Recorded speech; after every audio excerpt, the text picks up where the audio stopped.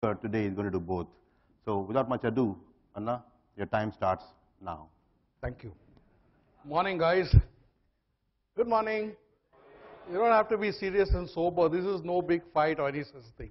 You will realize at the end of the day that uh, when all of us have gone through with all our different concepts and our different ideas and ideologies, you will realize that uh, more often than not, we are speaking the same language. Only thing is, we are calling it with some different names, or we're calling it with some different uh, kind of uh, coming into it with a different kind of funda. But essentially, we are all here for one thing, and that is to do the good. Can I have my slides, please? I have to do what? Oh, you should have told me that. Sorry. All right, good. So we are all here because we believe that we are here for the service of humanity. And in the service of humanity, you and I know that you and I are somewhere lacking in some particular aspect. And that is why you and I are here today on a Sunday morning, because somewhere some things still tug at the strings of our heart. And that is a factor that has brought us all here together to see is there a better way of rendering the service to humanity that you and I have taken a solemn pledge when you and I graduated from our dental schools?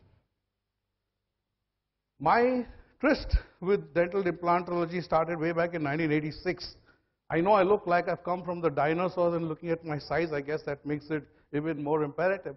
But I've been there for quite some time, and when I went there in 1986 to Singapore, I stood there and I listened to about uh, nine different implant modalities. And at the end of those nine implant modalities, was 10 days, I was more confused than I was ever before in my life, and I was wondering, what the hell am I doing here? And that was about the time when the world started getting its first batch of titanium watches, you know. And I remember going to that shop, and when that lady sold me, tried to sell me a titanium watch, I loved it, and everything was fine till she used the word titanium. And all of a sudden, I was disgusted because 10 days, and I didn't know which way to go. And now my question that came up to me was, what did I really learn 30 years back? Kumar told you that I am somebody who speaks my heart out, and I am going to do the same today. And my tryst and my uh, chance to meet a wonderful human being happened two years back at the ISOI conference in Mangalore, where I was invited to do the oration lecture, and my topic there was integrity over integration. These words mean a lot to me, and these are words which I live my life by. And when I stand here today, I might say things which even my friends from the conventional implant world may not like. But that's me. That's how I have been brought up. That's my integrity. And that's what I'm going to stand here. And you will see best of both worlds being questioned. Very simply, sometimes you will wonder which side am I on. I'm on the side of delivering good quality dental practice to my patients. My results have to speak for themselves. Like Dr. Stephens said, nobody knows how I gave them the teeth. They don't even care. As long as it doesn't hurt them, they can afford it, and that they can chew afterwards, life is done. Story is over. There's nothing more fancier than that. And when I learned this whole thing, they focused in those days on looking at integration. Because it was very strange to us that something you can put a foreign body inside a human body, and that the human body is going to say, Oh, wow, come on, I love you, and I'm going to be integrated with you, and I'm going to stay adherent to you throughout my life. That was a concept which was very, very difficult to swallow. Then, along the years, there were some other people who stood up and said, you should not have a bony union between the two. You should have what is called as a fibro-osseous union. And that was the next turning point. Hardly I had learned one and a half days under the Brånemark school about osseointegration. Then there was this huge American guy who stood there with a Rolex and with the most awesome blonde on his other arm. And he told me that what you learned about osseointegration is all bullshit, it's all crap. Now, who was I to believe? The two guys from the Brånemark school were elderly gentlemen this guy had the blonde, and he had the Rolex, and he showed me his Ferrari. So I obviously believed him. And that's like my thoughts. It was very simple. Because he showed me more success in the ways of the life than what the other two guys could show me. Okay? And then uh, we asked them, what about the prosthesis? They said, put the implant. Let it integrate, then we'll worry about the crown. This was how was the implant courses which were conducted for a day at none other than the university uh, in Singapore.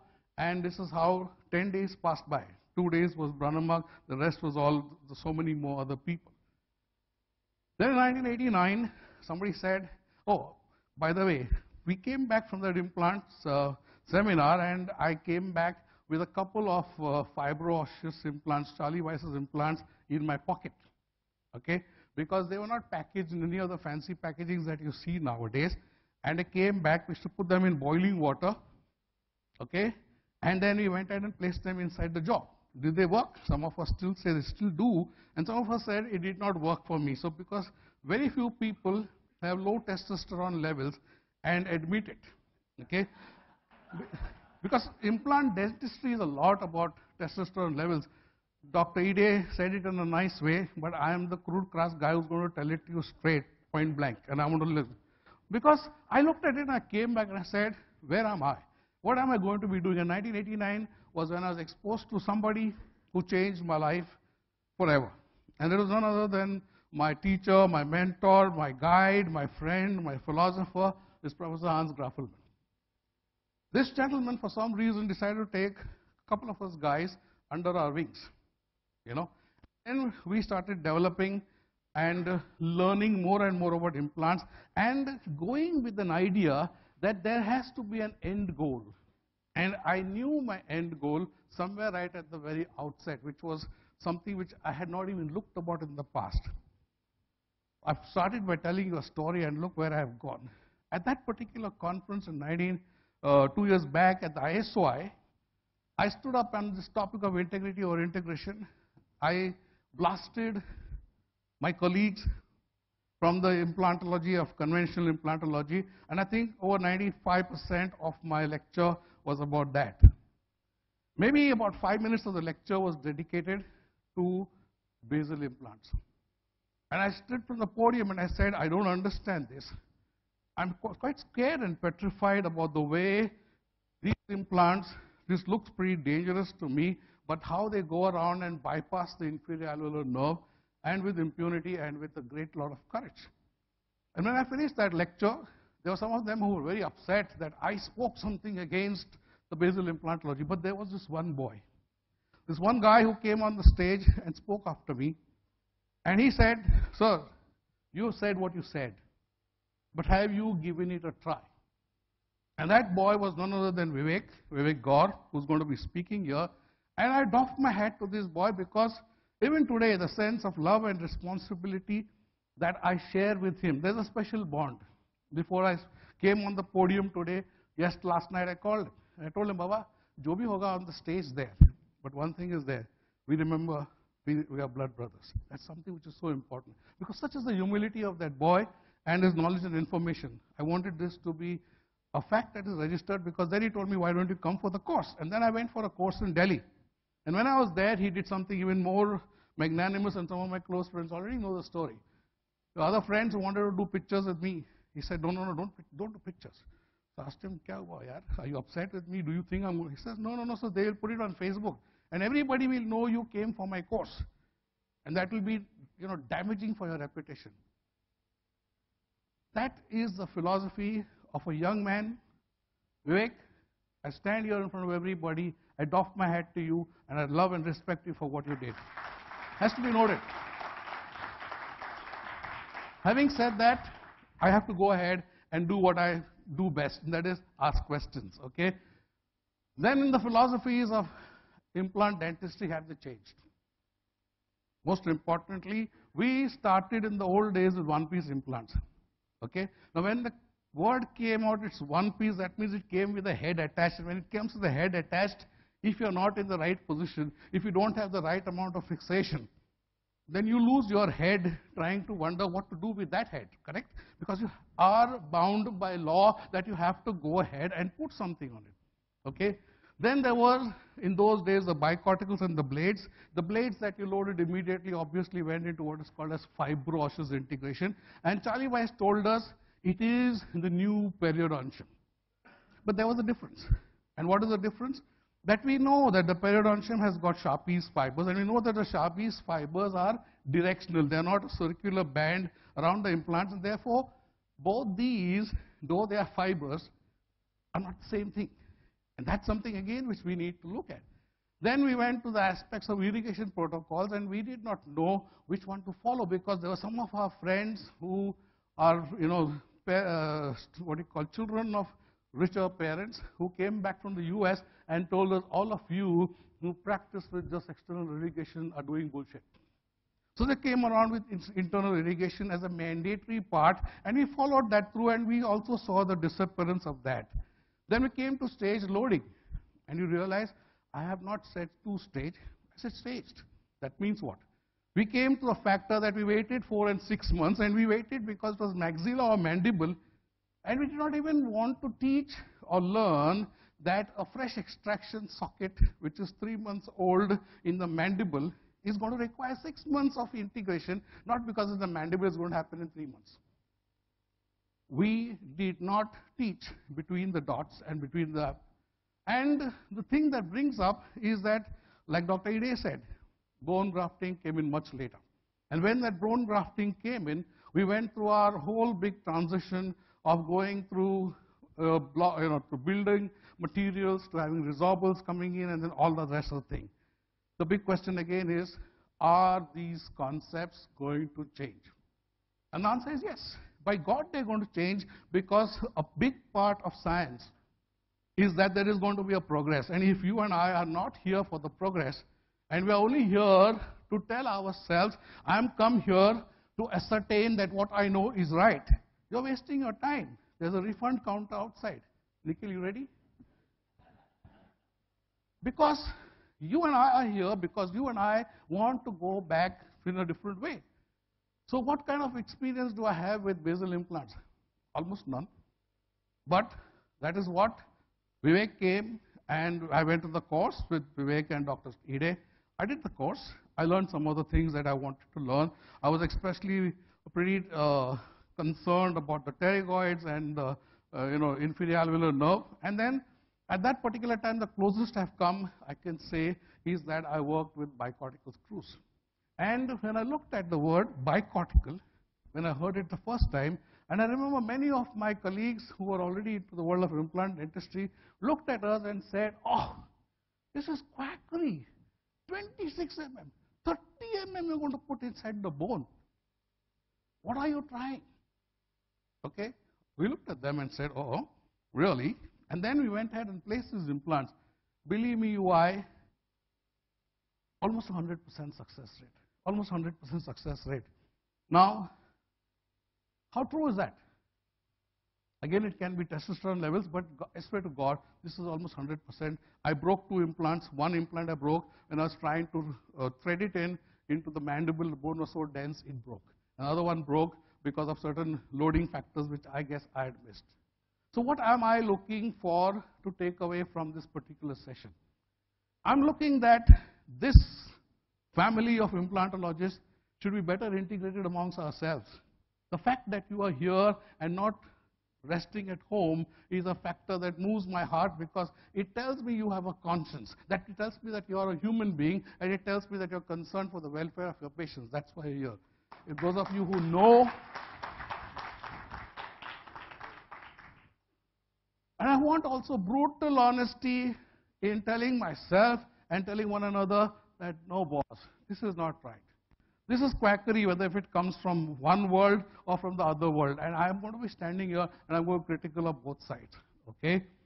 And then, for me, at the end of the day, it's important that I take home good ideas. And I take home ideas where I can possibly go ahead and want to absorb a system into my fold Today I am the proud owner or maybe the stupid owner of about 18 different implant systems. What does that tell you? It tells you I'm gullible. Correct? It tells you I'm a fool. It tells you that I believe everybody. It also tells you that I listen. It also tells you that I possibly am able to think and logic, uh, reason out and logic out some of the factors that the person is trying to portray to me. It also tells you that somewhere with all these systems, there is somewhere a feeling of incompleteness that needs to be addressed, to be fulfilled. And that is the honest truth which is there, and you and I need to acknowledge it. And this is the world of implant dentistry that I want to look at. What is our goal, your and my goal? And it's already been said, is to rehabilitate the dental invalid. We have given teeth such a diminutive role. And I'm not even talking about the people from non, who are non-dentists. I'm talking about you and me who have not even recognized the full potential of the word occlusion or the world that forces that are going to be coming. Be it an anterior tooth situation or a posterior tooth situation or multiple teeth missing or the full mouth.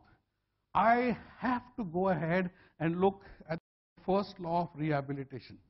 And what does my first law of rehabilitation tell me? That I have to restore the missing anatomy. And form follows function. This is something which we have learned from years of listening and looking at good, good literature.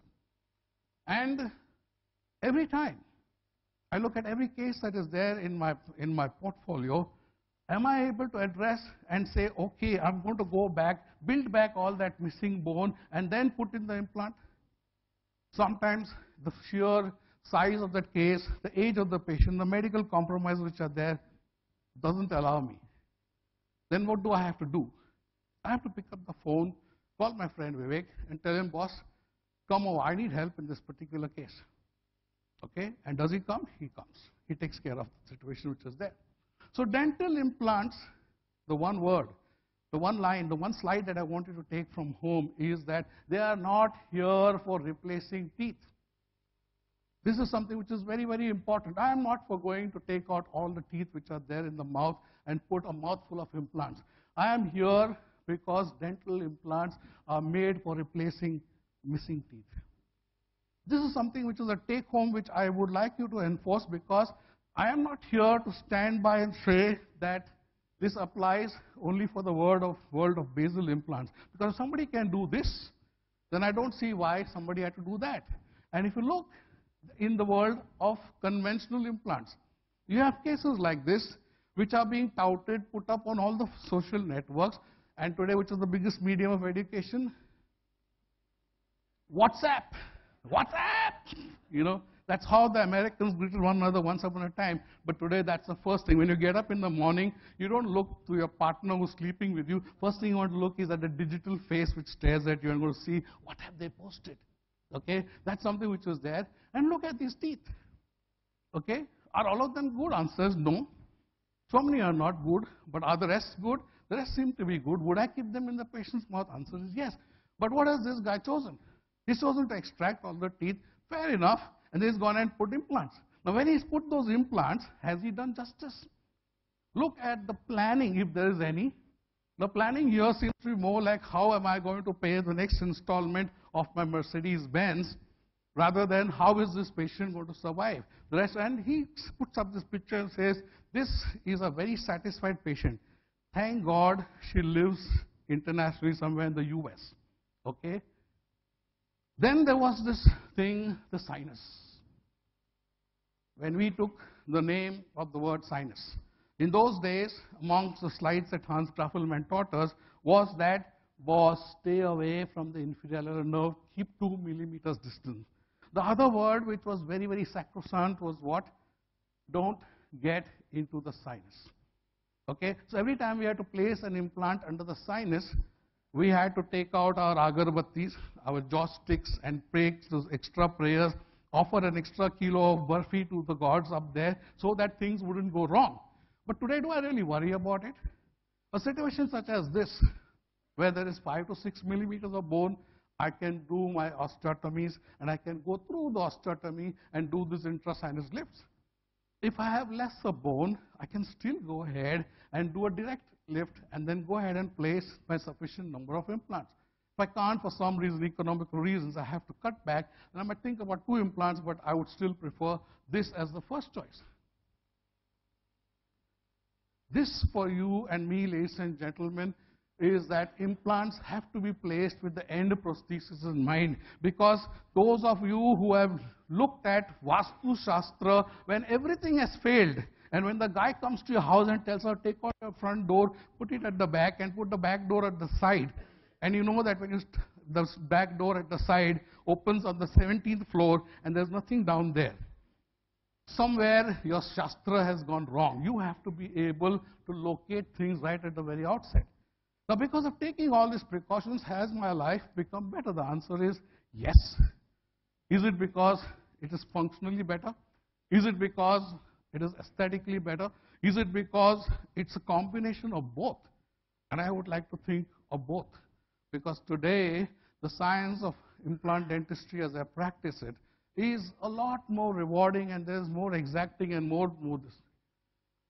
Then we're thinking about the prosthetic aspects and we want to look briefly about the occlusion. We'll look at the prosthetic aspects besides the factor that we are now factoring that where am I going to place my implant depending on where am I going to have my crowns coming on top. The next thing that we know is also that we are fighting today in this world of conventional implant dentistry is this word retrievability. And in terms of retrievability, we have been looking more and more towards screw retained prosthesis. Of course, it's not as convenient as cement retained, but now we have a combination thereof, and this is coming from where? From the factor that there are a lot of us who keep asking questions and making demands and having the manufacturers or researchers going and giving us the screw retained cemented restorations. Now you have a marriage which is very, very good. We look at resorption, and we always told that the labial surface is going to resorb first. Fair enough, we accept that. Now, why do we have labial resorption? Very simply, because the labial cortical plate is thinner than the lingual cortical plate. Now, that's the truth all over the mouth, excepting in the posterior mandible. You look at the posterior mandible, what do you realize? In the position of the 7 and the 8, the second and third molar, you will realize the lingual cortical plate is thinner, and that is why when the resorption takes place on the inside, it starts expanding, the jaw mandible kind of expands outwards. What does that do? What it does is that this bone resorption is going to raise a lot of questions. We teach our students, and I know because I've been somebody who shared implants for a long, long time, and you'll realize that I used to tell people that the anterior mandible is the safest zone that there is in implant dentistry. Fact or fiction? 19 fatalities have been reported because of going ahead, going through the lingual cortical plate, inadvertently pumping in the irrigant fluid along with whatever was there in the socket and causing that patient to go ahead and meet with the maker well before and you can say he went with my implants. Such is the tragedy of life. Significant. Today, you also have to acknowledge that the alveolar process is pointing labially, that the basal process is going to be pointing lingually. So depending on the amount of resorption that has happened, you're going to have to place your implant either from a forward back direction or from a backward front direction. Have you ever thought think about it? How about the pterygoid plates? This is something which is, for me, one of the passions that I keep trying to study it, and I realize that if the alveolus is full, like, you know, post-extraction, immediate post-extraction, the pterygoid plates are placed inwards. Now suppose there is some amount of resorption, the pterygoid plate is placed in line, and if there's severe resorption, these same pterygoid plates are going to be outwards. That means the direction of the pterygoid screw is going to be different from all the different area, and we already talked about posterior mandible. You've seen pictures from Carl Misch's book. You've seen that there is going to be resorption. You've seen that because of resorption, this implant which should have originally come there has now come back here. And you look same thing you will see in the lower arch. And what has this given us? This has given us that we should have a formulation which all the time we talk about mesially positioned lingualized occlusion. Does this law apply all the time? I question it myself. I don't think so. I don't believe in that. And I'm thinking there's going to be different. We also know that angular loads are dangerous. We know that bone, like all physical substances, behaves well when there's going to be load under compression. You get almost 193 megapascals. Moment it goes into tensile, it's about 128 megapascals. And if it goes into torque, 60, 66 megapascals. That means what? Every screw that you want to ever take out, you should not fasten it more than 35 newtons torque because if you do more than that, there's a possibility that you will be unscrewing an implant it's just a screw. Let us look at the normal chewing cycle. What do we know? How do you go ahead and do the chewing cycle? The mandible swings in. You never eat straight. The mandible swings in. Is going to be either from the right side or the left side. And that lower canine is going to be touching the upper canine. Which is the muscle that is going to be establishing this activity? It's just the anterior belly of the temporalis. That's the only muscle that is working at this point. Moment this canine to canine contact is established, the next phone call goes, shut down the anterior belly, start working the middle belly. The middle belly starts going and working on the coronoid process, starts dragging it a little upwards, and then the posterior belly fires and brings the coronoid process back. What is really happening? What is happening is that the condylar process is getting seated into the condylar fossa. Why are we focusing on this? Because you must realize that the canine contact was happening only with the anterior belly of the temporalis, and that is the smallest part of one big muscle, and that cannot generate more than 75 pounds. Now, why am I telling you this? because something which is very important is that I'm looking at what we call as the canine guidance and also looking at what's called as anterior guidance. And why are we looking at both these things? Because moment I move my patient's jaw from the midline to the front or from the midline to the sides, what is happening is that I want the smallest muscle to be firing, which will ensure that there will be no large forces, which will ensure that there will be no destruction of the union between my implant and the bone interface. Let's look at Ryan. This is what his OPG looked like, and you know that he's got lots of teeth to be lost.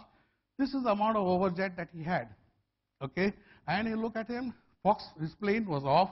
His lower one tooth, which was extracted, and we made him a temporary bridge to replace those missing teeth. And then we went ahead and you look at this, the amount of overjet that there is.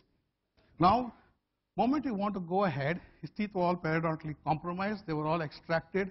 Implants were placed. Three of these implants we got very good torque. So we went ahead, put up the abutment. This one was less than, was about 35. So we left that underground. I went ahead, placed those two implants in the front. We placed one implant down here. At this, the tooth was extracted and a sinus elevation procedure was done. A couple of days later, we had to go ahead, knock off these two teeth, and then grafted and left to heal. How long am I going to wait? I'm going to wait nine months to a year because of a terrible amount of graft. And then this was the interim phase with the interim prosthesis that Ryan was moving around with. And then you can see that it's a pretty good tuck back. I'm not here to tell you that you need to extract teeth because I'm against, one of the guys was vociferous about using endodontics and using post and pores to tuck back anterior teeth. So now asking you to extract and place implants is going to be a bigger sin. These were periodontally compromised. They were all grade 2, 2 plus 3, uh, and this is how we managed to get him to a good result. One of the things that worries me most is this particular aspect. The normal anatomy is one thing, but as we start, teeth start getting worn down, as teeth start getting lost, as there is more and more loss, what do you find? That the, the mandible will start becoming more and more prognathic. When it becomes more and more prognathic, we see lots and lots of cases being projected. You see, they have no regards at all about the shape of the jaw, the size of the jaw, and you see people fighting about placing four implants, or now as the, the manufacturers would like to say, not all on four, they say all on four plus. Now, all on four means what? Six is also plus, and eight is also plus. But then, do I put them in the same configuration if the jaw is square, or if it is U-shaped or V-shaped? This is something that you and I have to be able to consider before we go ahead. You can put all these and load a edentulous case. You can go ahead and put five or four implants in the front and load it, or you can go ahead and have a basal implant system with a lot of bicortical screws which are doing the work. Which one is better? I'm not in here for contesting any of these. My only contention is that if the patient has been edentulous for a sufficient amount of time and this patient is going to require a restoration, if you think that you can just go ahead and slap on a prosthesis and go ahead, do it without cause starting or doing any kind of effective uh, uh, deprogramming, I think that is something which is really, really going wrong. The time has come that we should focus on realizing our resource allocation. Look at this guy. He's got a cap which he just has to turn around and this goes off and look at his glasses. Everything is there. Today's world, everything is available, but our resource allocation is gone completely, completely wrong. Before I end, we have always heard from Carl Misch is that you need implant protected occlusion. I am not here to ratify that because I firmly believe that the word IRO, implant related organ, is something which is more important because how do I plan my occlusal scheme is going to be dependent on where and how many implants and what diameter and length and what kind of forces, what kind of quality of bone, that's something which is going to affect. Thank you so much for a patient hearing and thank you for inviting me here and I hope that we are just able to spark off more thoughts in your and my minds and I want answers for myself when I go home today, so I go home a better human being. Thank you. Thank you, sir.